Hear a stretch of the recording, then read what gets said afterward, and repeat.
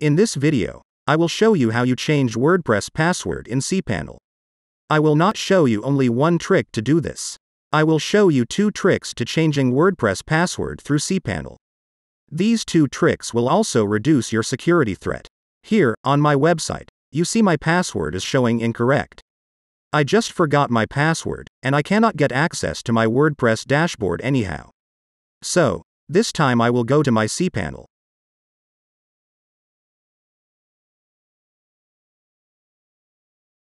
Scroll down.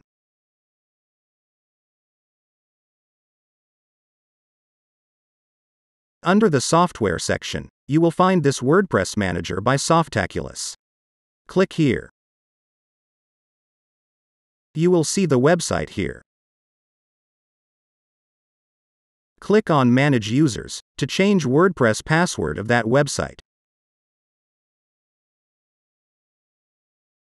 You can also add a new user from here. You just need to put the username, password, and other information. To change the password of WordPress, choose the existing user first. Then write the password here.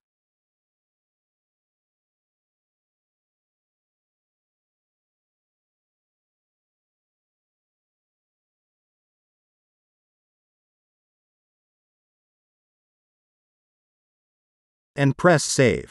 Password changed successfully. Now, let us check can we log in with the password? Go to WP Admin.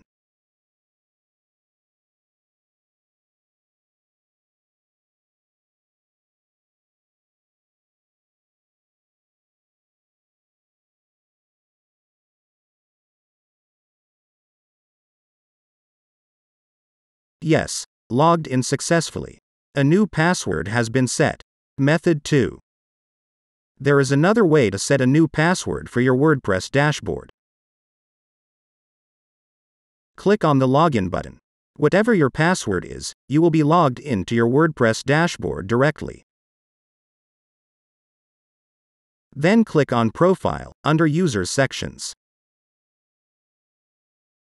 Then scroll down, and you will find a new password option. Click Set a new password. A new password will be generated automatically. You can set your custom password too. Copy the password, we should not forget that. Check the username. Press Update Profile. Let's try to log in with this password.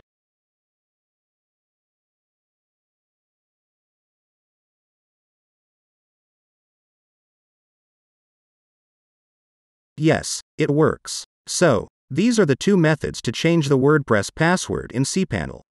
If you have any questions then comment below. And don't forget to hit the like button.